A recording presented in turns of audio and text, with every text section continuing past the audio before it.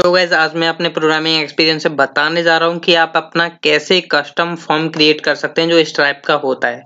Basically ये भी, मुझे भी ज़रूरत पड़ी थी, इसलिए मैंने ये कोड अपनी साइट में एक में ऐड किया हुआ है तो इसलिए मैं आपको बता रहा हूँ, अपना एक्सपीरियंस शेयर कर रहा हूँ।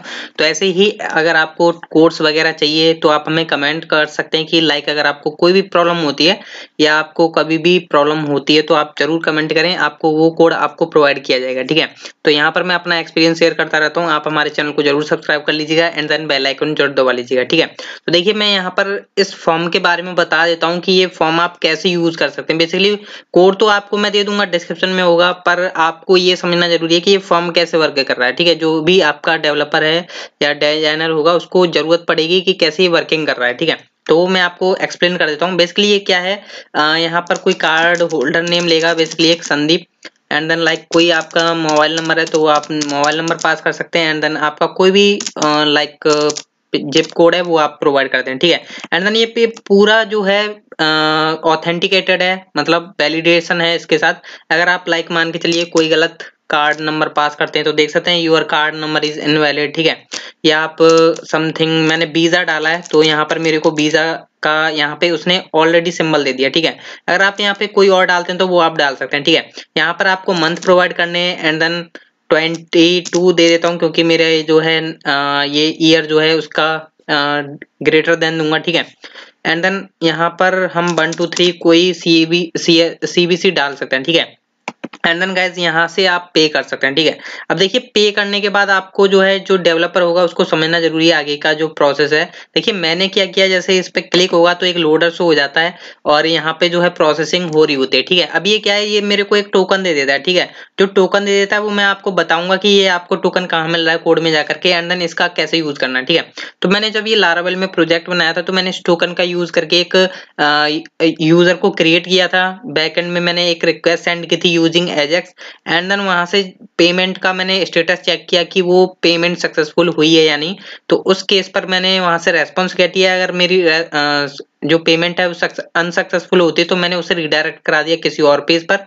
अन्यथा मैं सक्सेस पर रिडायरेक्ट करा देता था ठीक है? तो ये टोकन जो है आपको कैसे मिलने वाला ठीक है? तो ये मैंने बेसिकली क्या किया, ये आपको जो कोड दिखाई दे रहा है बेसिकली मैं यहाँ पर कुछ फॉन्ट ऑसम मैंने इसलिए यूज़ किया था, जो कि लोडर आपको दिखाई दे रहा है कि यूज़र को ऐसा ट्रीट होगा कि हमारी जो है, जो पेमेंट है वो प्रोसेसिंग में है, ठीक है?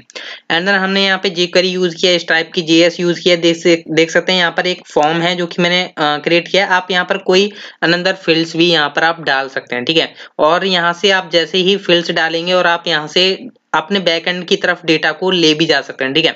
यूजिंग एजेक्स देखिए, अब देखिए, यहाँ पर मैं आपको बता देता हूँ। ये मेरी बेसिकली एक स्ट्राइप की जो आपको पता है, ये आपको यहाँ पर मिल जाएगी आपके अकाउंट में जो होगी। बेसिकली मैं यहाँ पर अपनी प्रोवाइड नहीं करूँगा, जो कोड होगा नीचे, उसमें नहीं है ये। तो मैंने टेस्टिंग के लिए अपनी यूज़ की हुई है, ठीक है? एंड देन यहाँ पर कुछ फॉन्ट्स वगैरह लगे हुए हैं, जो कि फॉर्म में शो हो रहे हैं आपको, ठीक है?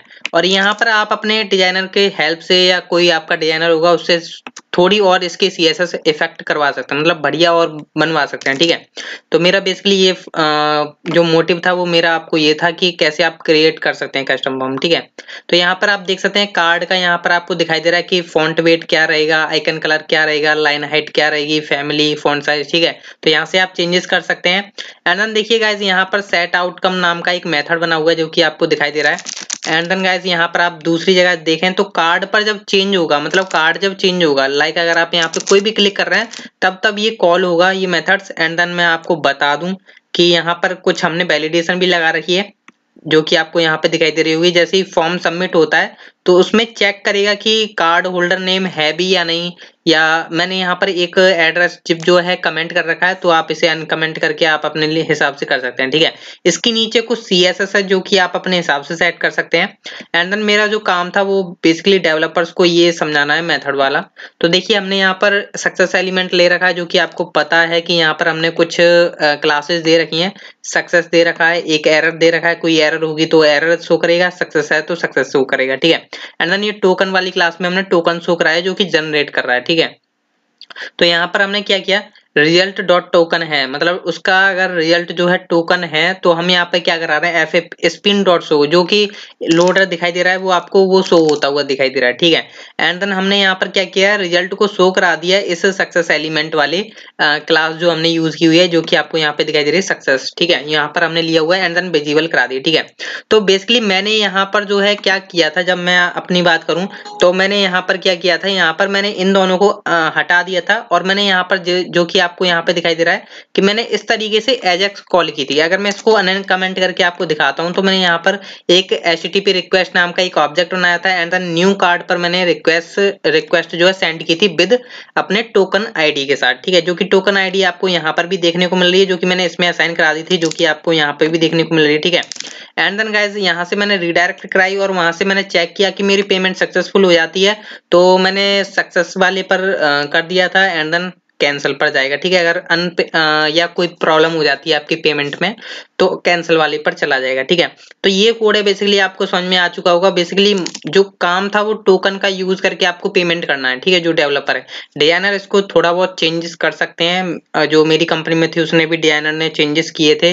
एंड देन आप भी अपने डिज़ाइनर से करवा सकते हैं, ठीक है? तो ये था, और ये कोड आपको डिस्क्रिप्शन में मिल जाएगा। ज़रूर चेकआउट करें। सो थैंक यू हम यहाँ पे मिलते हैं नेक्स्ट एक्सपीरियंस के साथ। सो चैनल को सब्सक्राइब करना ना भूलें। मिलते हैं नेक्स्ट वीडियो में।